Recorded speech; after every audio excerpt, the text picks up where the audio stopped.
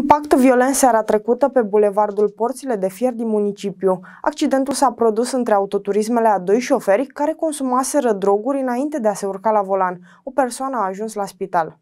Cei doi tineri de 18 respectiv 21 de ani au consumat droguri și s-au urcat la volan, însă ghinionul i-a urmat. Aceștia au ajuns să fie implicați într-un accident rutier. Ambii conducători consumaseră patru substanțe psihoactive, THC, cannabis, hașiș și marihuana. În urma verificărilor s-a stabilit faptul că niciunul dintre cei doi conducători auto nu se aflau sub influența băuturilor alcoolice.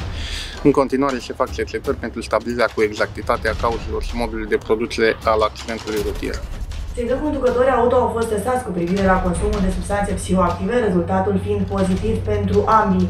În cauza a fost întocmit dosar penal sub aspectul săvârșirii infracțiunilor de vătămare corporală din culpă și conducerea unui autovehicul pe drumurile publice sub influența substanțelor psihoactive. În urma impactului, unul dintre șoferii implicați în accident a fost rănit, fiind transportat la spital. Am deplasat la fața locului cu un as auto special de apă și spumă, descarcerare și o ambulanță zmur.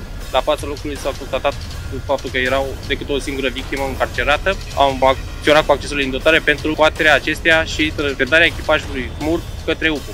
În cauză, oamenii legii au întocmit dosar penal.